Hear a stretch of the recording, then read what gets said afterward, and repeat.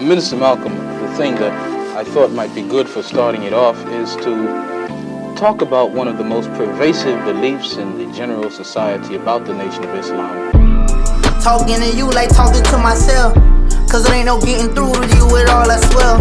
And I've been thinking about you since I came to jail. I tried to reach out to you, but it was to no avail. Guess it ain't nothing else to do when we outgrew each other.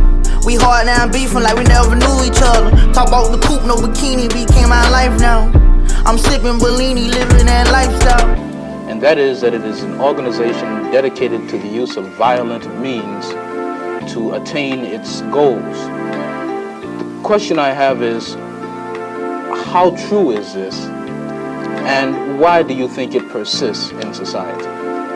Popping pills, popping pistols, I put my mic down. I almost lost my life that night, I was on a bloodhound. They trying to tell us put the bikes up and the guns down. X was trying to buy a bike and he got gunned down. X was trying to change his life, but he got burnt down. X went around with no pipe, so he got gunned down. Listen, do as I say, don't do as I do. Nine out of ten, it ain't gonna end up looking good for you.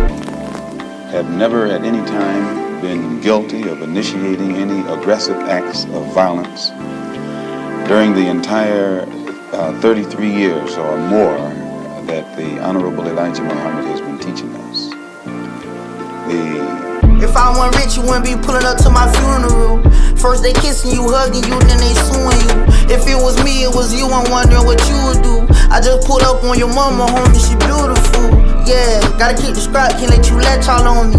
I got married to the game, she put the racks all on diamonds on my ring, look like a matrimony. First you screaming my name, then fall a lawsuit on me.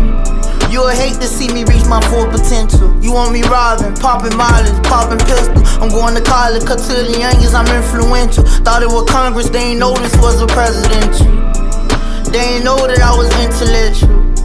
You trying to change your life, but they won't let you. I know they know I'm special, why they playing with me? You talking jewels, I'm dropping jewels, you see the difference. Carbon jewels for your dog, they don't appreciate it.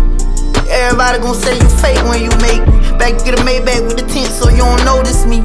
When the money bring the fan, you can't even roll in peace. Guess all the pain that I went through had to be the recipe. I stood tall through it all, it brought out the best in me. Hey yo, dismiss all them charges, that ain't my destiny. Everything I said, I stood on it, I got integrity.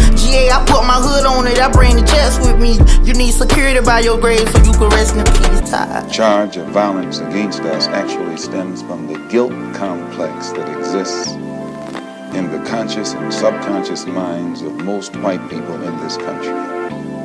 They know that they've been violent in their brutality against Negroes.